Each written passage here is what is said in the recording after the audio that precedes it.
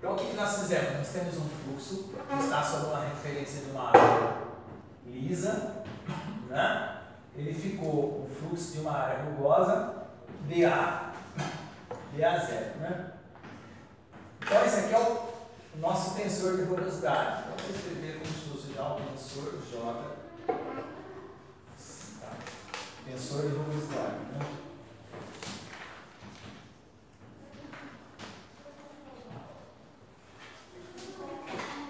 Então se você tiver uma linha, uma área, né?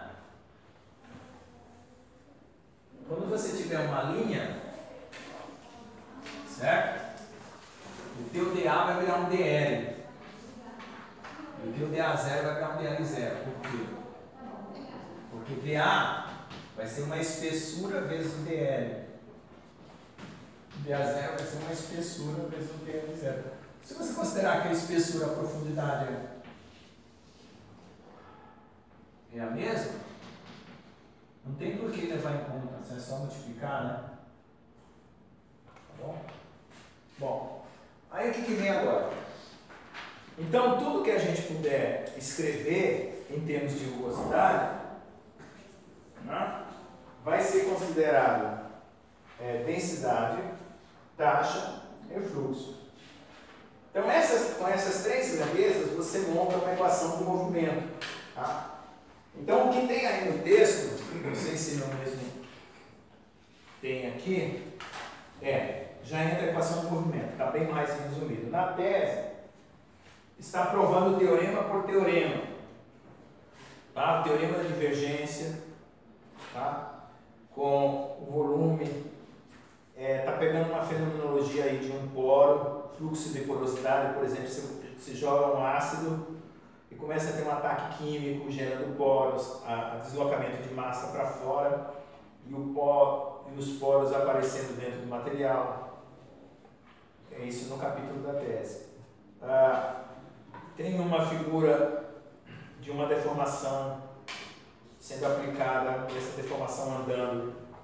Então, a própria, o próprio volume né, volume poroso, ou a própria área rugosa, ela pode se propagar, né? Então, é isso que está dizendo. No artigo não está, mas na tese está. Então, o que, que acontece? Eu estou com uma região aqui, certo? Ela está sofrendo um ataque químico, certo? E está gerando poros e está distribuindo massa para fora. M1, M2, M3. Então está gerando poros. E isso aqui está andando para frente. Então você pode imaginar que é como se fosse um fluxo. Então pode gerar um fluxo do volume poroso, um fluxo da área rugosa. Certo? Da área rugosa seria o quê? Seria uma deformação, né? ela tem um A rugoso e aqui tem um A zero. Essa deformação está andando, né? tipo uma laminação. Tá certo? Aqui seria uma corrosão. Aqui seria uma laminação. A deformação está penetrando para dentro do volume, tá? Então, isso também pode ser colocado nos termos de fluxo. Tá certo? Tá? Não achar que fluxo vai ser só o fluxo de calor, de massa, ou de carga elétrica, coisa do tipo. Pode ter essa nova natureza aí de fenômenos. Bom, eu só vou voltar aqui se for necessário. Então, vou para frente com a questão da equação do movimento. O que quer dizer equação do movimento? É o seguinte. Como é que eu sei que o movimento acontece? Né? Vamos levantar essa questão. Deixa eu olhar na visão que vocês estão tendo aí, para eu não, não, não falar coisas que não. Bom, então estou na página 5119, vamos para 5120. Então aí uma parte também dos teoremas da divergência está tá demonstrada aí, não todos. Tem dois postulados que foram colocados aí. Postulado, é, postular que a, que a energia para criar uma superfície no caminho rugoso é a mesma que a energia do caminho projetado. Isso já foi dito, né? Essa equivalência já tinha sido proposta anteriormente, tá? Só foi repetido. Postular que os formalismos matemáticos da mecânica contínua são invariantes, ou seja, você mantém a mesma física que está no rugoso, no projetado, está no rugoso, então a mesma. Eu não mudei nada. Porque é, você poderia dizer assim, poxa, será que uma física no rugoso não seria diferente? Será que as equações. Não, por quê? A, a base da teoria da relatividade foi manter a, a física valendo para qualquer situação. Você não quer mudar de planeta e tem que fazer um curso de física quando chegar em Marte. Certo? A mesma física F igual a MA, né?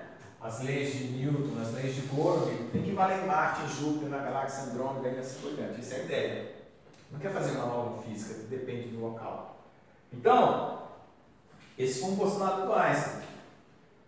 É, e na verdade, até uma, é uma condição imposta, se você quiser pensar também assim. Aí significa que existem as transformações, existem as correções daqui para lá, mas mantendo a mesma estrutura matemática. Então a ideia é a mesma, né? mantém-se a mesma estrutura, fluxo é definido do mesmo jeito que é definido aqui, é definido aqui, só que aqui a referência é rugosa, aqui a referência é liso ou projetado. Tá bom? A mesma maneira de definir. Não, não se define um J de uma outra maneira. Tá? O J definido ali é o mesmo J definido do outro lado. Então não existe uma outra forma de definir. Porém, lá na frente a gente vai ver que quando o sistema, lembra que eu falei que a superfície ela é aqui irregular, né? Então o que acontece é uma correção, né? Lá na frente a gente vai ver que se existir uma dinâmica, porque isso aqui era estático, se existir uma dinâmica, tá? E uma dinâmica aqui, tá? Diferente. Ah, na verdade, se, se for a mesma dinâmica, tudo bem, os potenciais estão iguais. O que pode existir uma outra uh, situação que é gerada aqui, por exemplo, numa situação de instabilidade, que não é gerada aqui, né? que como seria uma nova física surgindo dentro do sistema. Então, nessa situação aqui, tudo bem, mas aí dá para fazer o seguinte, dá para ver que essa instabilidade, ela aparece em fenômenos dinâmicos, que poderia aparecer aqui, mas aí o efeito da rugosidade aqui né, nasceria, vamos dizer assim, por essa, por uma razão própria desse fenômeno. Tá? Então ainda, ainda tem um jeito de tratar isso. Eu comento aí um, do parágrafo aí. Deixa eu ver. Um parágrafo que eu faço esse comentário. Se é, por exemplo,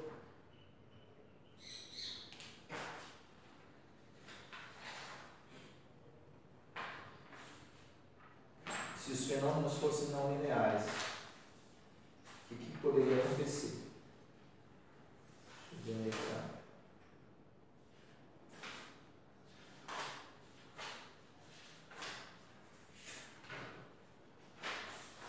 tá? Tá, quando as formas são regulares e tal.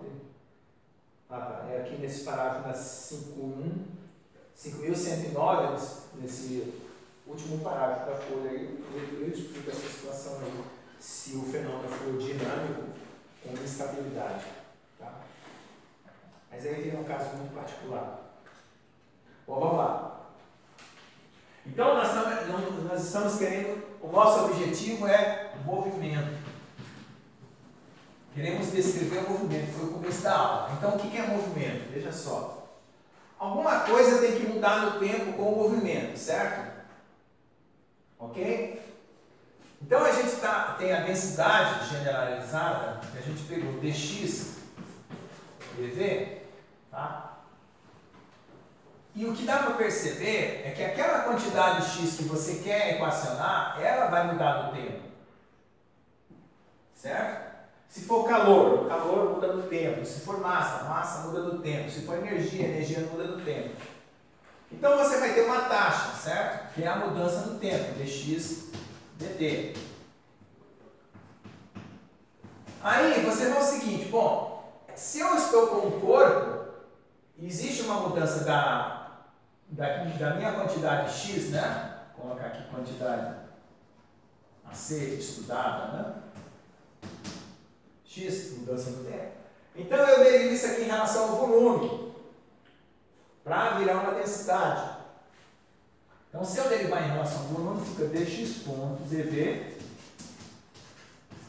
dv, dx, dt.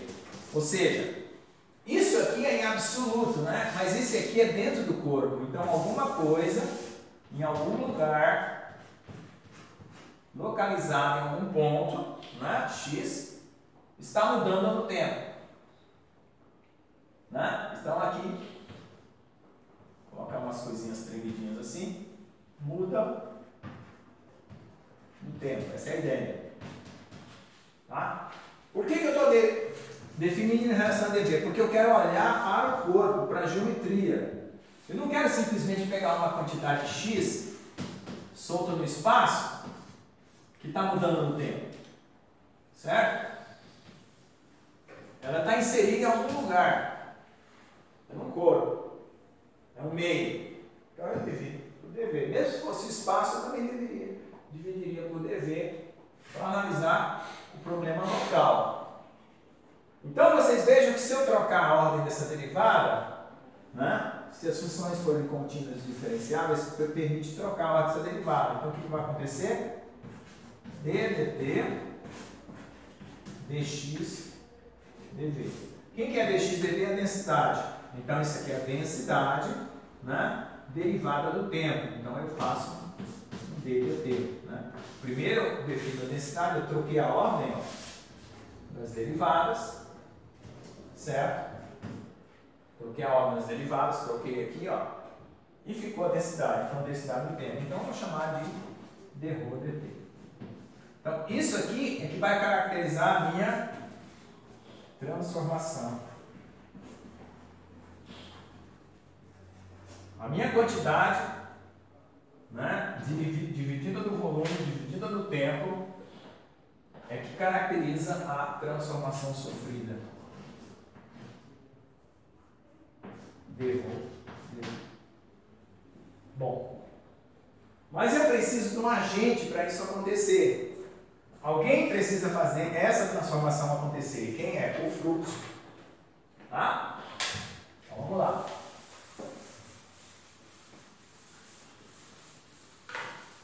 Uma forma de perceber é por análise dimensional. A outra é fenomenológica mesmo. Você faz análise fenomenológica. De perceber o seguinte. Essa quantidade aqui, ela tem que se relacionar com o fluxo, tá? X, né? Assim, aqui também, é, eu posso dizer se eu quero olhar para o X, volume real, ou X, volume aparente. Isso não tem problema, é só fazer a mesma coisa. Então vamos lá.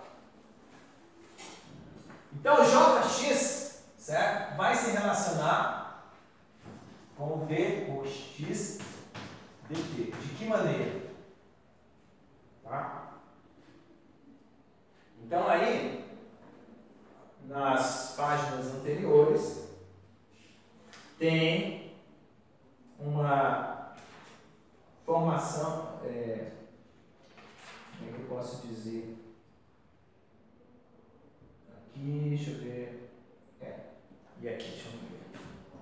Tá da equação 32 até a equação 41, né? está mostrando como que se dá essa relação entre o, o, a taxa e o fluxo. Então vamos lá.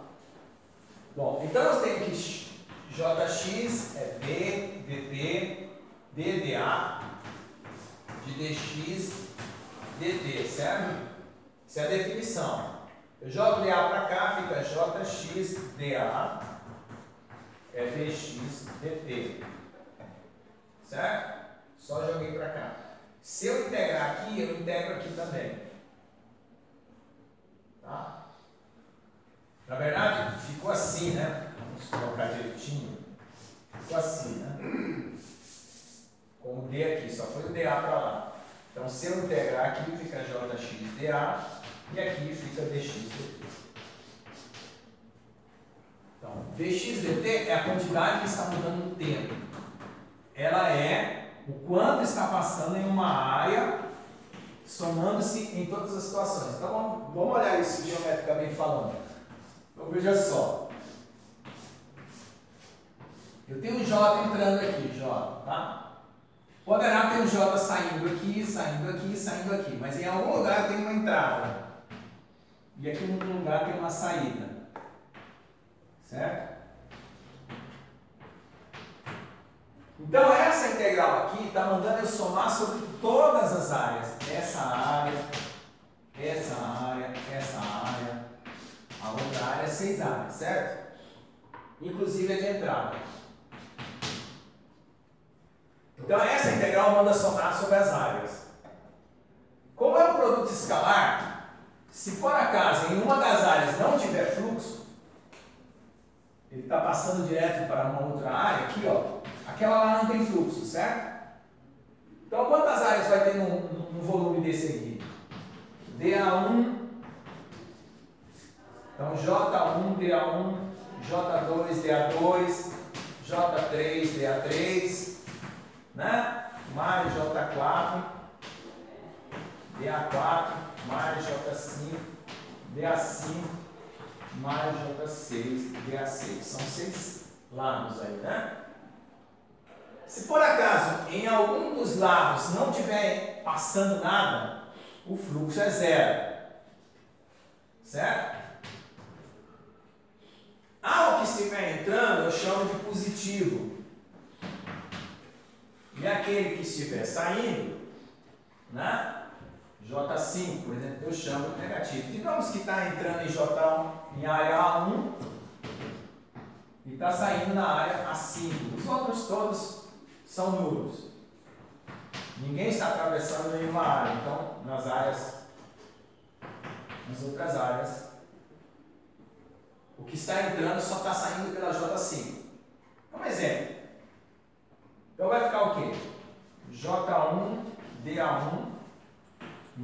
J5BA5. Digamos que a quantidade J1 e J5 são a mesma porque não houve nenhuma modificação. Ou seja, ninguém ficou retido dentro do volume. Certo? O que, que acontece? Se entrar mais e sair menos, alguém está retido no volume, certo? Se entrar menos e sair mais, o volume mandou para fora, produziu. Então, existem três situações para o volume. Né? O volume, ele é uma pia, ele suga, é um sink. Ah, ele é um equilíbrio, a entrada é igual à saída, que é zero, né? A subtração. Ou ele é um source. Então pode ser menor que zero, igual a zero, ou ele é um source, ele é uma fonte maior que zero. Certo? Isso pode acontecer no volume. Então, entra 30 pessoas nessa sala, sai pela janela 7, ficou retido aqui 23, certo? Entrou 7 pessoas, saiu 30, alguém nasceu aqui dentro. Então o volume produzido. Entendeu a ideia? Então, o source é quando o próprio volume produz. Então, se eu olhar para dentro do volume, a quantidade X que está sendo mantida, produzida ou diminuída vai ser quantificada pela densidade. Certo? Então, se o que entra é igual ao que sai, a densidade é constante, certo? O que entra é igual ao que sai. Então, está todo mundo aqui, qualquer corte daqui, a densidade é a mesma. Então, a variação no tempo, zero. Se o que entra é menor ou maior do que sai, a densidade muda localmente. Então a derivada da densidade no tempo é diferente de zero. Então, naturalmente, você vai ver que isso aqui vai se relacionar com a densidade. Vamos lá. Daquilo que está sendo produzido dentro do volume. Então a ideia é pegar esse, esse teorema aqui, JXDA igual a dx dt, deriva em relação ao volume dos dois lados, ddv, jxda, ddv, dx dt, certo? Ótimo. Aqui já tivemos o quê? Esse problema aqui que já foi resolvido, né? Na troca. Então, esse aqui vai ficar o dρ dt, eu troco, vira densidade e derivada no tempo, certo? Percebe o que eu já tinha feito? Está todo mundo ligado nisso? Ó, eu derivei todo. Isso aqui eu saí da definição, certo? Eu saí da definição, só recapitulando. Saí da definição, joguei o dA para outro lado, integrei ficou essa taxa dessa forma. Eu expliquei o que, que acontece com a taxa dentro do volume, está aqui. Agora, dessa forma aqui, eu posso derivar aqui e aqui em relação ao volume como está feito aqui. Essa situação já foi resolvida, porque foi trocada a densidade e ficado o termo dt. E essa situação é o seguinte, olha lá. Cada área são duas derivadas. Cada volume são três. Quantas derivadas sobram?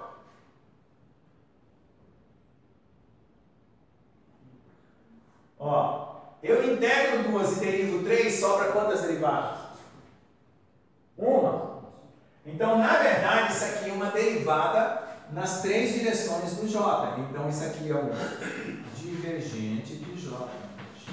Porque divergente é a derivada. Certo? Então, o símbolo para definir isso aqui é divergente. Então, aqui nós temos uma equação de movimento. E aqui eu vou usar como divergente essa definição aqui, olha lá. Podia apagar aqui? Não. Vocês apitam aí? Eu não podia apagar aqui. Eu já estou com medo de passar do horário. Então eu vou um pouquinho mais rápido. Então, vê lá. Toda vez que eu tiver um fluxo, ele é derivada do volume divergente integral do fluxo na área. Isso aqui virou uma definição. Tá? Ao invés de eu integrar duas vezes e depois derivar três, eu só derivo uma. Porque uma é o inverso da outra. Eu vou ter que fazer duas integrais, depois de fazer duas derivadas, que são reversas. Aliás, três derivadas, então só faço uma derivada, que é essa daqui. Então, essa aqui é a equação do movimento. Movimento. Então, o que, que essa equação do movimento diz? Que a minha fonte do meu fluxo produz uma variação na minha quantidade x. Certo? Eu só vou produzir uma variação na minha quantidade x se eu tiver um fluxo. Certo? Calcular o divergente é calcular a diferença entre entrada e saída. Certo? É o que está aqui, ó. Divergente entrada e saída. A diferença entre entrada e saída pode ser menor que zero, igual a zero, maior que zero. Menor que zero está sumindo coisas, igual a zero está se mantendo, e maior que zero está produzindo coisas. Então, quem está sendo produzido? A minha quantidade x. Entendeu? Agora, eu só substituo calor, massa, fluido, elasticidade. Pronto. Eu só tenho que descobrir quem que é o meu jx no meu problema. Então, no começo da aula, eu coloquei o jx como sendo K gradiente de T, D gradiente de concentração, Leite Fourier, sigma gradiente de potencial elétrico. Não coloquei? Então, cada uma dessas fenomenologias seguem a mesma equação. É só eu substituir lá e eu vou ter a minha fenomenologia. Aqui é calor, aqui é concentração, aqui é campo elétrico,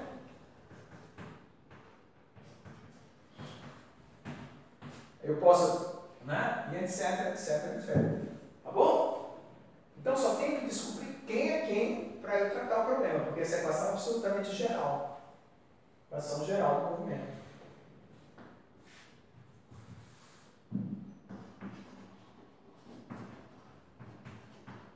E agora vamos fazer as correções de área e as correções de volume. Pronto.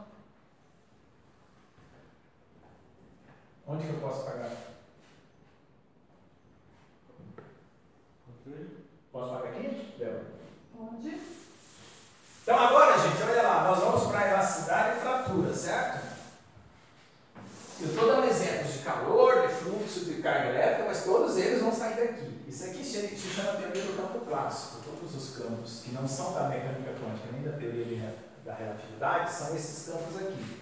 Então, todas as equações que a gente trata hoje, os fenômenos que a gente utiliza em materiais, que é calor, concentração, campo elétrico, campo magnético, uh, campo elástico e fluido, seguem leis assim. Todas elas estão compactadas dentro de um único formalismo matemático. Vocês estão aprendendo todas as equações, todo o conceito junto. Em vez de fazer um curso de elasticidade, um curso de transferência de calor, um curso de fluidos, um curso de eletricidade e um curso de sólidos, você está fazendo todos os cursos ao mesmo tempo. Entendeu?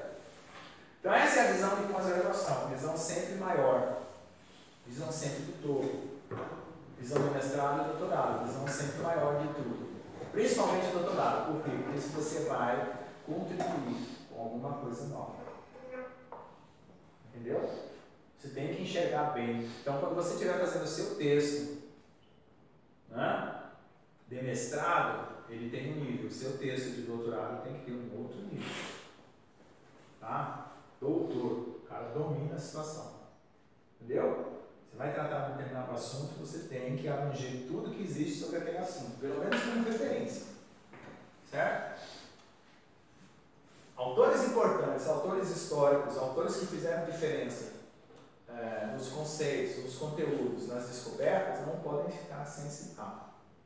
Por isso que tem que ter revisão bibliográfica, às vezes tem que ter uma revisão histórica atual estado da arte, ou seja, desde quando começaram a se pesquisar esse negócio até o dia de hoje, em que ponto nós estamos? Assim, então o meu trabalho é contribuir passado. Entendeu? Aí é brincadeira, né? Doutorado não é que é boinha, não. Por isso que existe muita venda de títulos na internet, né? Porque o cara tem que fazer um negócio. Aí o cara compra título, né? teses prontas, falsas. Assim fica fácil, né? O cara não quer trabalhar para se superar. Né? É claro que você recorda o seu âmbito de trabalho, né? Você não vai fazer uma coisa estúpida, né? Você pode recortar a sua área, como dentro de metais, dentro de tratamento térmico, dentro de transição de fase. Eu vou contribuir com essa ideia. Entendeu? Você pode fazer um recorte. Mas aí você tem que fazer um levantamento das, das áreas que você está tratando e a especificidade que você está dando no, no, diferencial que você está colocando, ou seja, o que, que é que eu estou de fato contribuindo. É o client originality. Certo? Você está, oi pessoal, a minha originalidade é essa. É uma coisa importante, você fazer um client originality.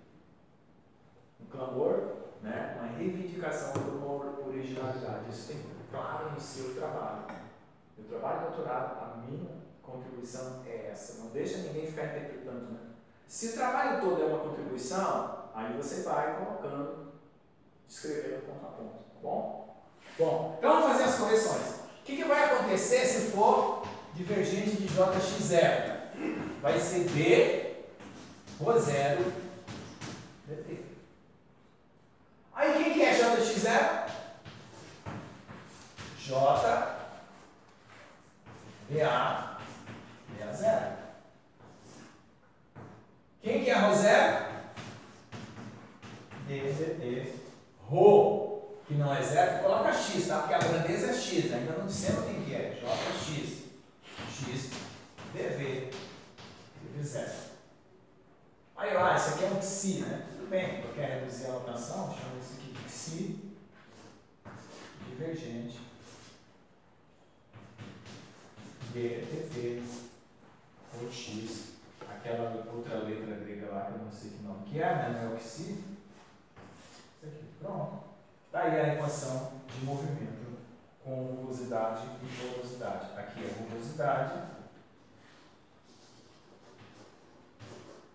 aqui é porosidade. Ok? Aí o que nós temos que fazer? Que vai vir na, pra frente, que já são 11 e pouco. Eu vou só dar cenas dos próximos capítulos para dar um glossinho que mais. E nós vamos fazer na próxima aula. Trazer o problema para a elasticidade, separar a parte de geometria da parte de energia, né? Por quê? Porque a geometria ficou dentro da porosidade e da rugosidade. A energia, ou a fenomenologia pura, ficou aqui dentro. Dentro da densidade, o material. É densidade de energia? Então vai ter lá Bx, dm, dm, né? Bx, dv, né? Bx, dm, dm, dv. Isso é densidade de massa. Então, ρx é rho dx dm. Então é isso aqui que nós vamos jogar aqui dentro. Toda a quantidade que eu estiver tratando vai ser o que agora? Na né? Quem que é o x na elasticidade? Quem é o x na elasticidade? Hã? Deformação. Na quem é, quem é a grandeza importante? Deformação. Então, deformação por massa. Deformação por volume. E quem que é o fluxo? Né? Então a taxa x ponto, né? taxa de deformação. Que é quando você faz um carregamento, você faz uma taxa de deformação. E quem que é o Jx? Deformação por área por tempo. Então aqui vai virar JU, né? VDA. E o que, que a lei de Hooke diz? Hã? Diz como se relaciona o fluxo de deformação com as forças. Né? Então a lei de Hooke diz que sigma é uma quantidade epsilon isso aqui a gente vai transformar na visão de fluxo, né? esse aqui numa visão de taxa.